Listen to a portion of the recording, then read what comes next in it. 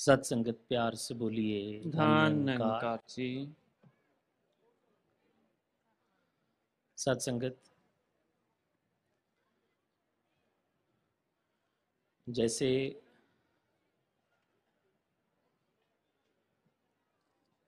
भोजन हमें रोज़ाना करना पड़ता है और कहते हैं कि मज़ा भोजन में नहीं होता, मज़ा भूख में होता है। अगर मेरा पेट भरा है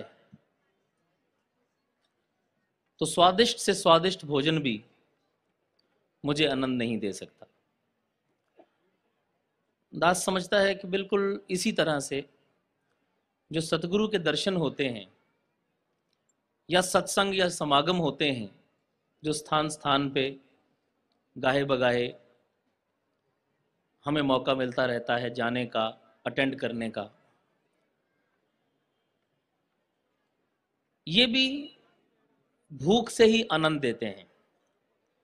अगर इनके दर्शनों की भूख है तो इनके दर्शन करके आनंद प्राप्त होगा। अगर भूख नहीं है तो स्वयं परमात्मा भी मुझे आनंदित नहीं कर सकता। इसमें परमात्मा का दोष नहीं, दोष मेरा है। और इसके उलट, जिसके मन में प्यार होता है, मन में तड़प होती है, मन में इच्छा होती है, वो कहीं बैठा हो, उससे उसके प्यारे का सिर्फ़ ज़िक्र हो जाए और उसको आनंद आ जाता है। तो क्या परिभाषा हुई? डेफिनेशन क्या हुई आनंद की? सत्संगत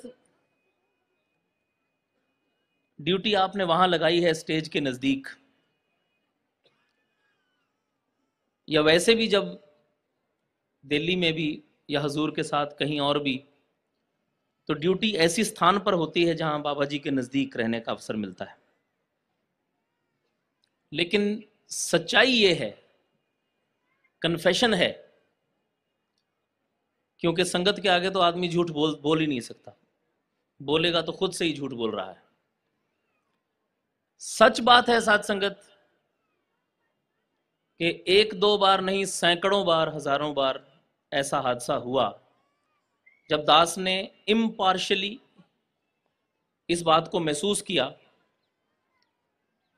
कि मैं बिल्कुल नज़दीक खड़ा हूँ और मुझसे ज़्यादा आनंद कोई वो प्राप्त कर रहा है जो वहाँ लाइन से खड़ा आ रहा है।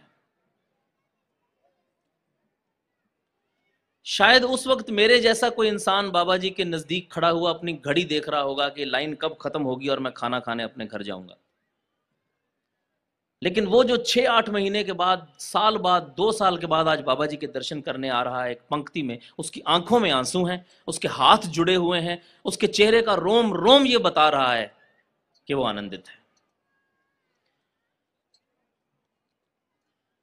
अगर तो ये बात दिखाई दे जाती है तो आदमी बच जाता है। नहीं दिखाई देती तो डूब जाता है। क्योंकि हमें अपने आप को माफ़ करना बहुत अच्छा लगता है। फ़ौरन माफ़ कर देते हैं। किसी की गलती माफ़ करने के लिए हमें सालों लग जाते हैं और अपनी गलती को हम पलक झपकते ही माफ़ कर देते हैं, उसकी जस्टिफिकेशन भी देते हैं, कारण भी बताते हैं।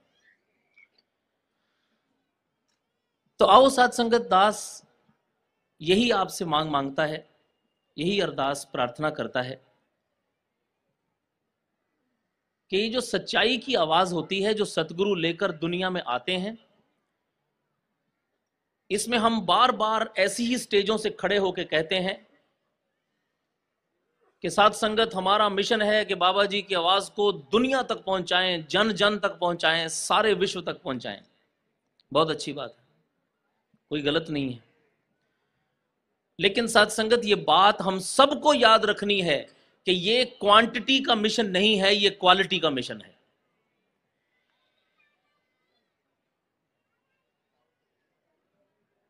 अगर मैंने सौ बंदे भी यहाँ, हज़ार बंदे भी एक साथ ला के खड़े कर दिए, जिनको क्लैरिटी नहीं है, उनसे ज़्यादा अच्छे वो दो इंसान हैं, वो एक इंसान है, जो कम से कम क्लियर है।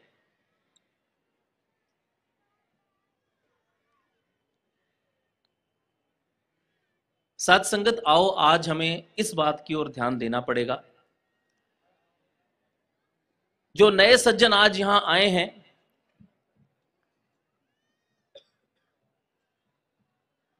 उनके लिए ये नज़ारा अपने आप में एक आनंददायक नज़ारा हो सकता है, अगर वो मन में इच्छा लेके आए हैं, भूख लेके आए हैं। उन सबको सादर स्वागत कहते हुए उनके सामने कोई हरी भरी रोजी पिक्चर न दिखाते हुए, अपने आप को नग्न करते हुए दास ये बात कहना चाहेगा कि जो नए सज्जन आज यहाँ आए हैं,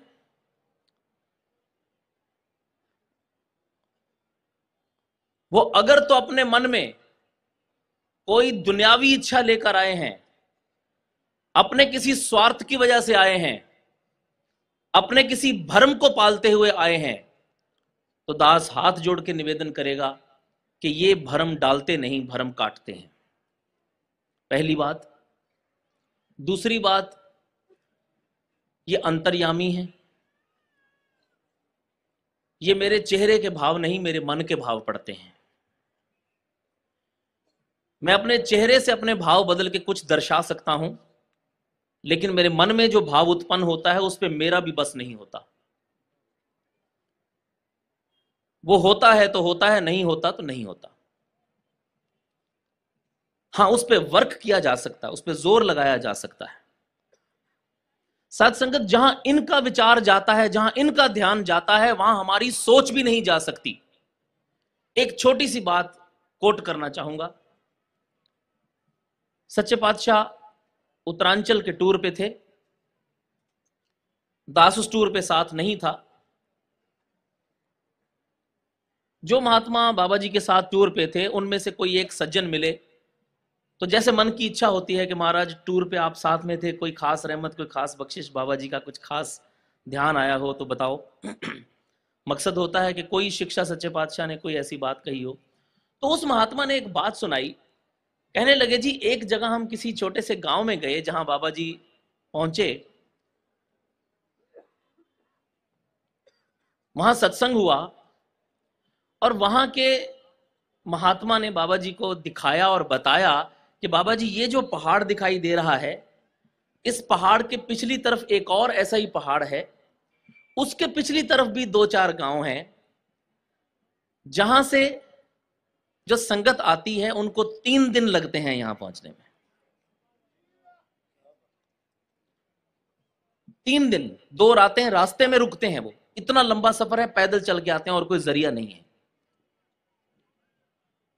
आप जी आए हो, वहाँ से तीन दिन सफ़र करके पैदल भी बहुत सारे महात्मा यहाँ पर आप आशीर्वाद लेने आए हैं।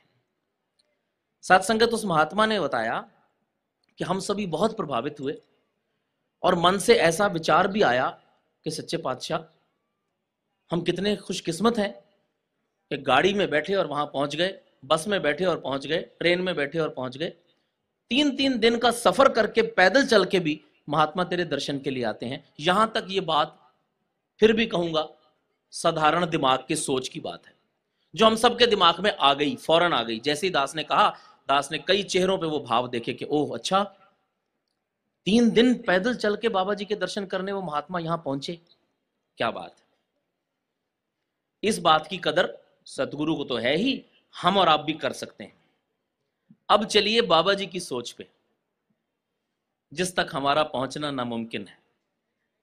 माफ़ी चाहता हूँ, नामुमकिन शब्द का इस्तेमाल कर रहा हूँ, नहीं तो आमतौर पे हम कहते हैं बहुत मुश्किल है। लेकिन बाबा जी की सोच तक पहुँचना बहुत मुश्किल नहीं, नामुमकिन है। हजूर बाबा जी ने उसके बाद एक शब्द कहा, एक वाक्य कहा, एक सेंटेंस कहा। कहने लगे अच्छा तीन दिन का सफ़र करके आते हैं यहाँ। सामने का महाराज, रास्ता और कोई है ही नहीं, पैदल चल के आना पड़ता है। और बाबा जी कहने लगे, उनका सोचो, जो तीन दिन का सफ़र करके उनको खबर देने जाते हैं कि बाबा जी आ रहे हैं।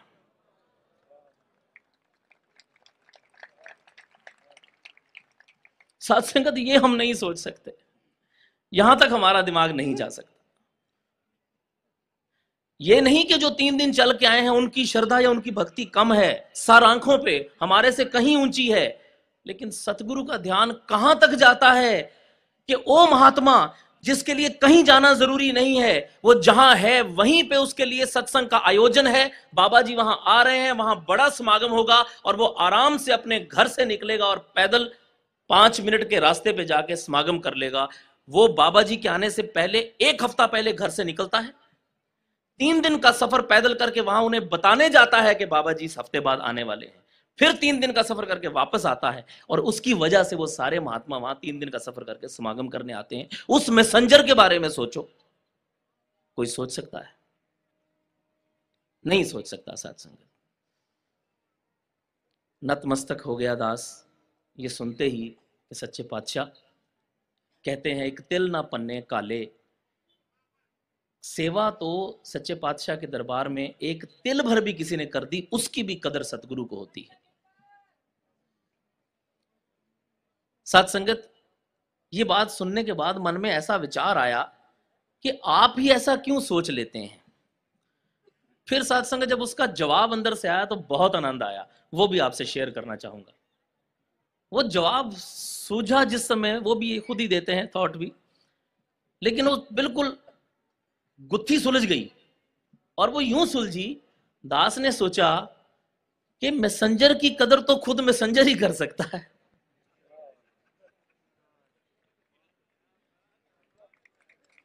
ये भगवान का संदेशा लेके इस दुनिया में आए हैं, इनको क्या ज़रूरत थी यहाँ आने की?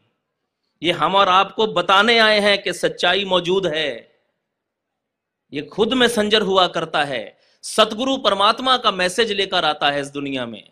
जिस तरह उस मैसेंजर को कहीं जाने की ज़रूरत नहीं थी, उसके घर में ही अमृत भरपूर था, वो वहीं पे सत्संग करके आनंद ले सकता था, लेकिन वो परोपकार के लिए इतना चल के गया और उसके परोपकार की वजह से कितने महात्मा आके बाबा जी का दर्शन कर पाए। इसी को और हज़ारों, लाखों, करोड़ों गुना बड़ा कर लें तो वही बात लागू होती है। सतगुरु स्वयं आप आते हैं। सब कुछ छोड़ के आज सात संगत ये अपने घर में बैठ के आराम नहीं कर सकते। इनके पास किसी चीज़ की कमी है? इनको पूछिए कि ये साल में कितने दिन घर होते हैं? और सात संगत जहाँ जाते हैं, वहाँ भी कोई ऐशो आराम के लिए नहीं जाते। छोटे छोटे गाँव में छोटी छोटी गलियों में छोटे छोटे घरों में, और उसके बाद भी कभी जताते नहीं। कभी ऐसे खड़े होकर लीडर्स की तरह लेक्चर नहीं करते कि मुझे तो बहुत आनंद आता है जब मैं छोटे छोटे गरीब लोगों के घरों में जाता हूँ, कभी नहीं कहते ये वहाँ जो प्यार बांटने जाते हैं, दास ने पहले भी ये बात आपके चरणों में रखी थी। एक घर में गए, हजूर सच्चे पातशाह, दास साथ में था।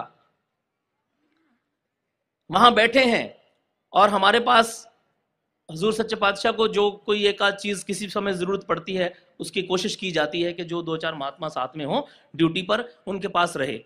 उनमें से एक चीज़ होती है tissue tissue paper tissue paper का पैकेट। ये हम लोगों की जेब में रहता है। कि बाबा जी को किसी वक्त टिश्यू पेपर की ज़रूरत पड़े तो हम में से कोई दे पाए। सात संगत। अमूमन ऐसा होता भी है कि किसी के घर में गए, बाबा जी के सामने कोई कुछ रखा और बाबा जी ने इशारा किया कि टिश्यू तो टिश्यू दे दिया। सात संगत उस घर में बाबा जी ने कुछ प्रसाद जो भी पर, पर, पर, परिवार ने रखा वो प्रवान किया और वहाँ जो घर वालों ने साथ में कुछ टिश्यू पेपर रखे थे बाबा जी ने दो चार टिश्यू पेपर वहाँ से उठाए। तो दास को लगा कि शायद टिश्यू चाहिए। दास ने एकदम पैकेट ऐसे ही निकाला। बाबा जी कहते नहीं ठीक है। मालिक है। फिर देखा दो चार टिश्यू और उठाए बाबा जी ने वहाँ से। तो कुछ समझ में नहीं आई, खैर, मालिक है। दास उस बात को पूरी तरह से भूल गया, वापस घर पहुँचते पहुँचते। सात संगत जब बाबा जी रात को अपने घर पहुँचे, कोठी पहुँचे, वहाँ जाके हजूर सोने से पहले अपने कपड़े चेंज कर रहे थे और बाबा जी ने नाइट सूट पहन के जब बाहर आए और वो अपना जो कुर्ता पजामा जो उतारा वो ऐसे पकड़ाया तो हम में से कोई भी साथ है तो उस, वो कुर्ते को हम खाली करके जो पॉकेट्स में जो कुछ है वो निकाल देते हैं और कुर्ता पजामा दे देते हैं धोने के लिए। वो पॉकेट के अंदर हाथ डाला तो सात संगत उसमें से इतना टिश्यूज का एक गुच्छा निकला, जिस पे बहुत सारा खून लगा हुआ था। दास तो डर गया कि ये क्या हुआ? बाबा जी की जेब से वो टिश्यूज निकल रहे हैं। फ़ौरन याद भी आ गया कि बाबा जी ने वहाँ से दो, चार, पाँच टिश्यू उठाए थे, फिर दोबारा से उठाए थे। तो दास ने पूछा, सच्चे पाचे ये बाबा जी, ये टिश्यू इसमें खून हाँ कहते हैं, कुछ नहीं, वो थोड़ा, फिर भी कुछ नहीं कह रहे पूछा, महाराज, क्या हुआ? तो सात संगत पाओ के पास यहाँ पर इन्होंने दिखाया इतना बड़ा निशान, जिसमें से वो खून निकला था। कहने लगे, बस वो मैं वहाँ जाके बैठा तो जो सोफा था उसमें से कोई कील निकला हुआ था। वो जाते ही फिर मेरे पैर में लग गया। तो सच्चे पातशाह, आपने बताया नहीं? तो सात संगत आगे से वो जवाब मिला जो ज़िंदगी में दास कभी भूल नहीं सकता। कहने लगे, मैंने इसलिए नहीं बताया कि अगर घर वालों को पता लगेगा तो वो सारी ज़िंदगी इसी बात से परेशान रहेंगे। कि बाबा जी हमारे घर में आए थे। और बाबा जी को हमारे घर में आके वो चोट लग। गई सात संगत कहाँ से लाएँगे वो दिल? कहाँ से लाएँगे वो भाव? जो सिर्फ़ दूसरों के लिए धड़कता है, जो अपने पाँव से निकला हुआ खून भी सिर्फ़ इसलिए छिपा लेता है कि पता नहीं इस महात्मा के घर में मैं दो साल बाद आया हूँ कि तीन साल बाद आया हूँ आगे फिर पता नहीं साल, दो साल कभी दोबारा चक्कर लगेगा कि नहीं लगेगा। जहाँ आज ये इतने आनंदित हैं, इतने खुश हैं, इनकी खुशी का ठिकाना नहीं है, वहाँ पर ये बात इनको चुभती रहेगी कि बाबा जी हमारे घर में आए थे और वो कील बाबा जी के पाँव में लग गया। इस वजह से हम में से किसी से टिश्यू तक नहीं मांगा कि किसी से टिश्यू मांगूँगा तो वो भी पूछेगा, क्या हुआ जब मैं टिश्यू? पता नहीं, हमें पता ही नहीं लगने दिया। कब इन्होंने वहाँ से टिश्यू उठा के अपने पाँव पे कैसे लगा लिया और कैसे उस बात को छिपा लिया? ये हमें घर जाके पता लगा सात संगत। और वो भी इन्होंने नहीं बताया, वो बाई चांस वो टिश्यूज जेब में से निकल आए। ये वो एक बात है साथ संगत, गौर कीजिए, ये वो एक बात है जो मुझ तक पहुँची और मैंने आप तक पहुँचा दी। ऐसी पता नहीं, अनेकों हज़ारों बातें हैं जो हम तक पहुँचती ही नहीं, लेकिन ये रोज़ाना कर रहे हैं साथ संगत। ये रोज़ाना कर रहे हैं। ये वो जीवन है साथ संगत, जिसकी वजह से आज हम सब यहाँ इकट्ठे हैं और प्यार मोहब्बत से बैठे हुए हैं। अब हमें इसके बाद और कुछ ना कहता हुआ, सिर्फ़ इतना कहना चाहूँगा कि अब इसके बाद अपने अपने बारे में सोच लें। लेकिन रहा नहीं जा रहा था ये बात आपके चरणों में रखे बिना कि अब हम इस बात से अपने जीवन को तोल लें। हमें किसी और प्रचार की ज़रूरत नहीं साथ संगत, हमें किसी और ग्रंथ की ज़रूरत नहीं, हमें किसी और, किसी भी शिक्षा की ज़रूरत नहीं। इस बात से अपने जीवन को तोल लें कि ये बाबा जी कर रहे हैं और मैं ज़िंदगी में क्या कर रहा हूँ। मैं किसी की कितनी गलती माफ़ कर सकता हूँ? साथ संगत, जिस दिन मुझे माफ़ करना आ जाता है, उस दिन मेरी ज़िंदगी की सब समस्याएँ खत्म हो जाती हैं। आओ साथ संगत, और अधिक कुछ ना कहता हुआ, आज सतगुरु बाबा जी से यही मांग माँगता हूँ कि बाबा जी, कृपा करो। हज़ारों समागम, लाखों संगतें हम यही कह के कर जाते हैं कि सच्चे पातशाह जैसा आप चाहते हैं, वैसा हमारा जीवन हो जाए। बाबा जी कृपा करो बस, हमारा जीवन भी ऐसा हो जाए। लेकिन कब शुरू करेंगे उस कोशिश को? कोशिश तो करनी पड़ेगी। वो कोशिश कहीं से तो शुरुआत करनी पड़ेगी और जिस दिन भी होगी, अपने आप से होगी। Charity begins at home. आज हम सभी प्रण करें कि अगर आज यहाँ बैठे हुए मेरे मन में किसी भी दुनिया के इंसान के प्रति कोई बुरा भाव है तो आज मौका है उस बुरे भाव को यहीं त्याग जाएँ। आज इधर ही बहा जाएँ, इसी गंगा में बह के मेरे सभी पाप धुल जाएँगे। आज भी अगर कोई फ़ायदा नहीं उठा पाया तो फिर कल को किसी को शिकायत मत करना, कल को किसी को ब्लेम मत करना कि मुझे तो मौका ही नहीं मिला। आज मौका है, अपने गुनाह माफ़ करवा लें और उसके लिए कहीं जाने की ज़रूरत नहीं, अपने मन में सिर्फ़ सच्चे पातशाह का ध्यान धर के हमें सिर्फ़ इतना ही कहना है कि बाबा जी, मुझे माफ़ कर दो। दिल से एक बार हम कह के देखें सदगुरु इतना दयालु है, इतना दयावान है के साथ संगत ये मेरे मन की पुकार सुनता है। इसके पास फिजिकली जाने की भी ज़रूरत नहीं होती, क्योंकि आज हमारा परिवार इतना बढ़ चुका है। ऐसी ड्यूटी पे हम लोग खड़े होते हैं, वहाँ महात्माओं को ये कहने से भी शर्म आती है कि महाराज जी, मैं आपको आगे बाबा जी तक नहीं ले जा सकता। कृपा करो कृपा करो, सीधे चलो, क्योंकि हर एक का दिल करता है, मैं दो मिनट बाबा जी के पास जाके नमस्कार कर लूँ। लेकिन यकीन कीजिए, ये दिलों की सुनता है अपने दिल में भी अगर किसी ने ऐसा विचार ले आया तो आज सदगुरु माफ़ करने के मूड में है। आज तो माफ़ कर देगा, लेकिन साथ संगत